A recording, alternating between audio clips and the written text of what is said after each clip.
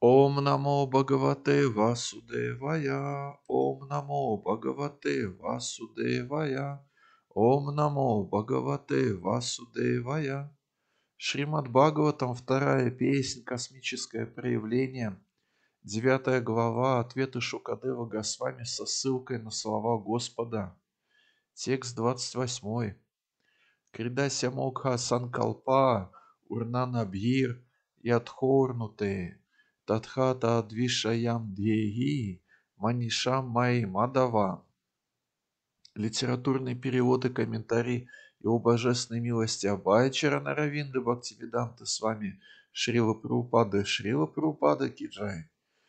О, владыка всех энергий, объясни мне с философской точки зрения их природу. Ты играешь словно паук, который покрывает себя собственной энергией.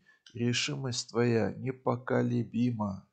Комментарий Шрила Прабхупады. Непостижимая энергия Господа наделяет каждый элемент творения определенными потенциями, которые называют энергией элемента, энергией знания и энергией различных действий и их последствий. Сочетаясь и взаимодействуя между собой, потенциальные энергии Господа обеспечивают сотворение, сохранение и уничтожение проявленного космоса что в положенный срок осуществляют различные представители Господа – Брама, Вишну и Махешвара. Брама творит, Вишну поддерживает, Господь Шива разрушает. Однако все они, так же как и созидательные энергии, исходят из Господа. И, следовательно, во всем творении не существует ничего, кроме Господа, единого первоисточника всего материального многообразия. Иллюстрацией этому служит пример с пауком и паутиной – Паук создает паутину, сохраняет ее, и по первому его желанию вся паутина снова оказывается у него внутри. Более того, сам паук прячется в собственной паутине. Если ничтожный паук может по своему желанию творить, поддерживать и уничтожать, то что может помешать верховному существу осуществлять свою высшую волю создавая, поддерживая, разрушая проявленный космос. По милости Господа такой преданный, как Брахма, или тот, кто принадлежит к цепи ученической преемственности, ведущей начало от Брамы, способен понять, каким образом всемогущая личность Бога являет свои вечные трансцендентные игры в сфере действия различных энергий. Шрила Прабхупада की जय. ॐ अज्ञान तिमिरान्धस्य ज्ञानाञ्जन शलाकया चक्षुर् उन्मीलितं येन तस्मै श्री गुरवे नमः. श्री चैतन्य मनोऽभीष्टं स्थापितं येन भूतले स्वयं रूपः कदा मह्यं ददाति स्वपदान्तिकम्.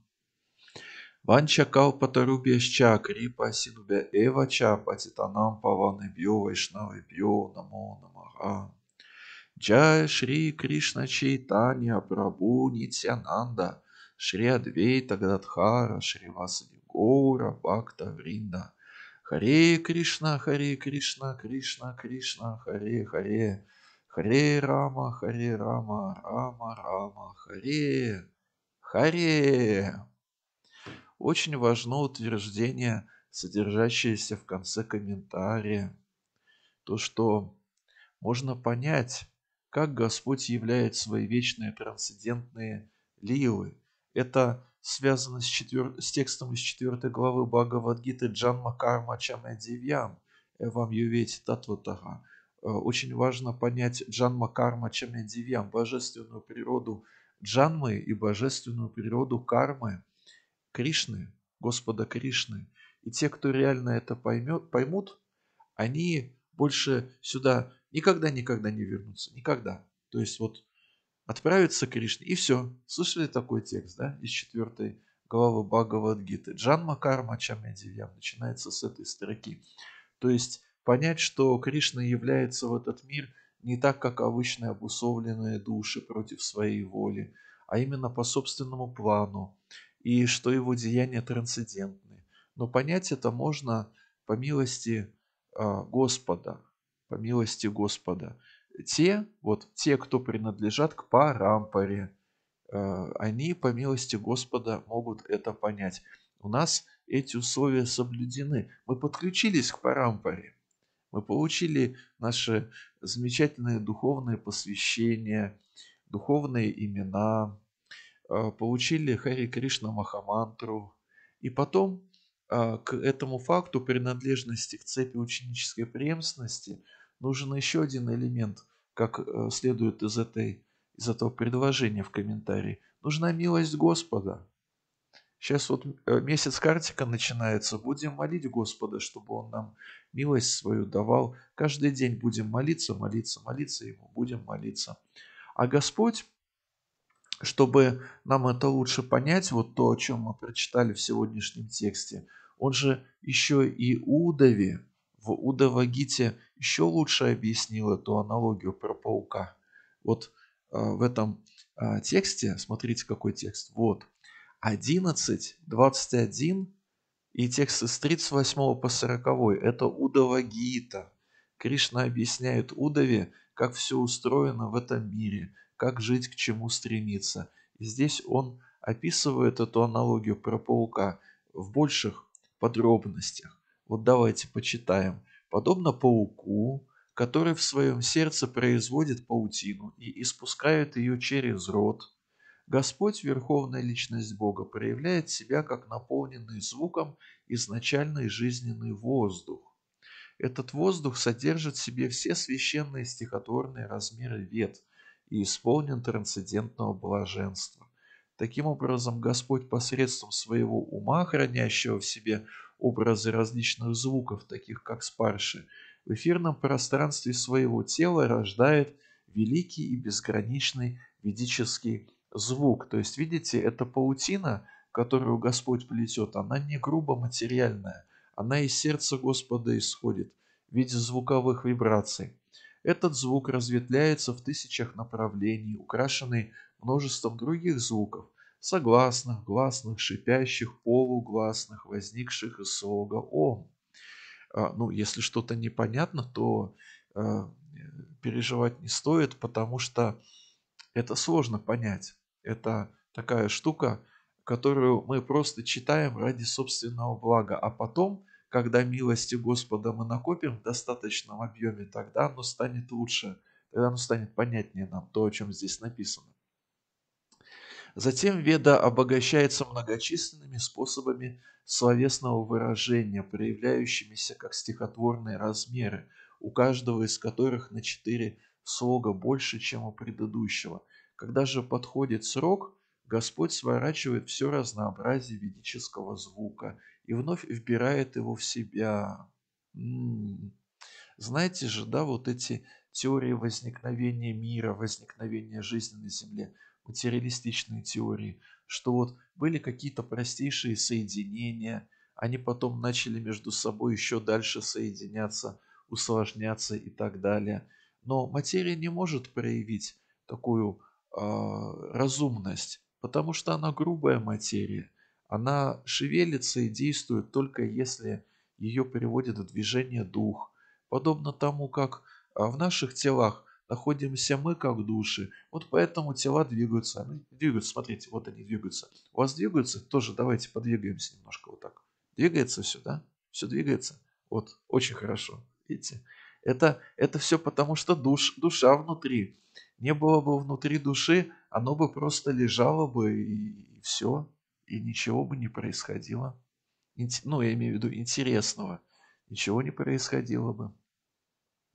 А, но в, плодовитой, э, в плодовитых умах ученых-материалистов рисуется вот такая картина, что якобы эти, да, да, да, да, да, что якобы эти э, соединения химические, они могут Э, значит, вот взять и сами в более усложненной комбинации соединяться. Есть очень хорошая а, аналогия, которая позволяет опровергнуть эту теорию материалистичную, что вот эти произвольные усложняющиеся соединения между а, разными химическими элементами, веществами и так далее на уровне грубой материи – самопроизвольно возникающий, это настолько же маловероятно, как если бы, например, вот, допустим, есть типография, и мы туда принесли бомбу, и там все взорвалось, и в результате эти все буквы, ну, мы берем, а, значит, типографию а, первой половины 20 века, когда не на компьютерах текст набирали, а когда из отдельных литер, из отдельных букв. И вот представьте, взрыв произошел, и самопроизвольно из этих букв а, собрал, собрался четырехтомник «Война и мир», например, или энциклопедия Брагауза и Ефрона, или Большая Советская. Но ничего не собирается, даже терем-теремок не соберется от этого, и курочка ряба не соберется. И что у нас еще есть? Репка. Репка не соберется от этого взрыва. То есть глупая идея, но вот то, что из Господа исходит, из его сердца, оно живое, поэтому оно, видите, вот здесь говорится, оно усложняется, что веда затем обогащается многочисленными способами словесного выражения и так далее, и так далее. И в комментарии э, ученики Шрилы Прабхупады сразу нас обнадеживают. Они нам объясняют, что понять эту тему могут только те, кто обладает обширными познаниями в лингвистике и санскрите, так что не стоит сильно огорчаться по этому поводу. А, но а, суть в чем? Что это за паутина такая, которая исходит из э, Верховного Господа, если мы берем эту аналогию? А это не что иное, как ведический звук. И предназначение этого ведического звука в том, чтобы славить Кришну, в том, чтобы постичь Кришну. И а, Бхагавадгита – это венец ведического звука. Видаешь Сарвайр Ахам Эва Видьях говорит в Бхагавадгите Господь Кришна в тексте 15.15. .15. Все ведическое знание предназначено для того, чтобы человек мог постичь Бога и полюбить Его. То есть из сердца Господа исходит этот звук, и исходит Бхагавадгита.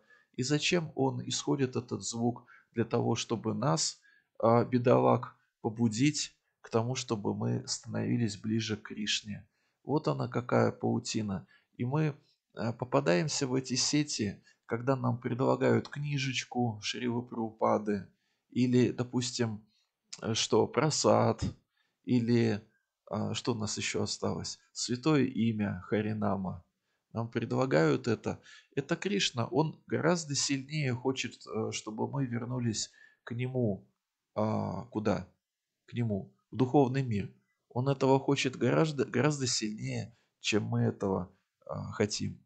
Тот, кто постоянно думает о Господе Кришне, кто вручает себя Ему, кто падает ниц перед Ним и с верой и преданностью поклоняется Ему, повторяя Его святое имя, без сомнения в совершенстве постиг все, что может быть названо словом «веда», «знание».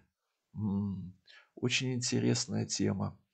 То есть, э, надо повторять Харе Кришна, Харе Кришна, Кришна Кришна, Харе Харе, Харе Рама, Харе Рама, Рама Рама, Харе Харе, понимая, откуда это взялось. То есть вот этот текст, еще раз, 11, 21, 38, 40, он является прямым доказательством, что Хари Кришна Махамантра – это не какая-то вот выдуманная мантра, выдуманная людьми. Она изошла из сердца Господа – для того, чтобы мы ее повторяли и становились ближе к нему. Эту аналогию с пауком а, в а, Бхагаватам а, используют не только в отношении верховной личности Бога. Вот, например, так, сейчас. Вот, например, текст 255. 255. И здесь Нарада Муни в этом тексте 255 обращается к Господу Браме и тоже использует эту аналогию про паука. Как паук с легкостью плетет свою паутину, проявляя при этом непревзойденные созидательные способности, так и ты творишь посредством своей самодостаточной энергии, обходясь без посторонней помощи. Комментарий. Лучший пример самодостаточности Солнца. Ему не нужен свет других небесных тел. Наоборот, своим светом оно помогает другим источникам света, которые меркнут, когда восходит солнце. Конечно же, а, эта самодостаточность условна, потому что в конечном счете энергия солнца исходит от Кришны, и энергия, который, энергии, которыми распоряжается Брама, тоже исходят от Кришны. Или вот, например, у нас есть такой а, текст, а, сейчас, вот этот вот, а, 4, 6, 43. И в этом тексте 4, 6, 43 Брама обращается к Господу Шиве, и на этот раз Шиву сравнивает с этим самым пауком. Тоже интересно. Мой господин, распространяя себя в различные формы, ты создаешь, поддерживаешь, уничтожаешь космическое мироздание, подобно тому, как паук полетет, поддерживает и затем втягивает себя в свою паутину. М-м-м. Да. И а, Значит, э, когда мы говорим про э, Шиву, про Браму, про Вишну, точнее про Браму, Вишну, Махешвару, как про гуна аватары, то есть как про личности, которые отвечают за эти три гуна материальной природы – невежество, страсть и благость. Здесь в комментарии к этому тексту 4.6.43 Шрила Прабхупада сравнивает эти, а, ну, а, их этих трех личностей, Браму, Вишну и Шиву, с различными а, министерствами или ведомствами, которые находятся под началом кого? Правительства страны. Очень интересная аналогия. А, вот давайте прочитаем еще вот этот кусок. А потом, после этого, пожелаем друг другу удачного дня и чтобы вот это вдохновение, которое на страницах Бхагаватам содержится, чтобы оно а, озарило, озарило наши жизни, чтобы мы были такие вдохновленные, ходили и думали, вот, вот спасибо Господу, что Он эту Хари Кришна Махамантру нам дал. Вот. В комментарии к этому тексту 4.6.43 Шрила Прабхупада пишет, гуна невежества, тамагуну считают низшим качеством, однако в конечном счете она тоже благотворна – это можно пояснить на примере Министерства просвещения и поли полицейского управления. И то, и другое являются государственными учреждениями. Рядовой житель государства может неодобрительно относиться к полицейскому управлению, но с точки зрения правительства оно также важно, как и Министерство просвещения, поэтому правительство одинаково субсидирует оба учреждения, не отдавая предпочтение ни одному из них. Не от, э, отдавая предпочтение, не отдавая предпочтение одному из них. То есть все гуны а, нужны. Все гуны нужны. Почему? Потому что они соответствуют плану Кришны. В Бхагавадгите, в тексте 8.19, Кришна говорит Арджуне, «Бута грамах са эваям, Бутва, Бутва пролиеты. Ратрия Гамея Вашах Партха. Прабхаватяхар Агаме. Каждый раз с наступлением дня Брамы все существа появляются на свет, а с приходом ночи помимо своей воли уходят в небытие. То есть вот эти три стадии создания, поддержания, разрушения, они чередуются. А, в каждой вселенной э, возникает, создается, поддерживается, уничтожается, и вот так вот по кругу. И Кришна говорит здесь об этом в тексте 8.19, это его план. Все три энергии задействованы. И Тамас, и Раджас, и Сатва. И все это исходит из Верховного Паука, которого зовут, у которого множество имен. Намна Макари Бахудгани Джасарва Шактис. Множество имен – и множество энергий. И в комментарии Шрила Прупада пишет здесь, что а, есть разные живые существа, есть неразумные живые существа. Они стремятся остаться в материальном мире. Они могут подняться на высшие планеты, однако затем им вновь приходится возвращаться на Землю. И когда наступают ночи Брамы, они все гибнут, а с наступлением нового дня снова появляются на свет. Это неразумные. Но разумные существа стремятся развить в себе сознание Кришны. И, получив тело человека, посвящают себя служению Господу, повторяя Харе Кришна, Харе Кришна, Кришна Кришна, Харе Харе, Харе Рама, Харе Рама, Рама Рама, Харе Харе.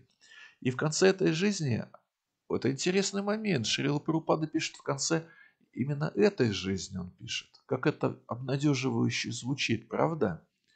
Он так и написал здесь, в комментарии к тексту 8.19.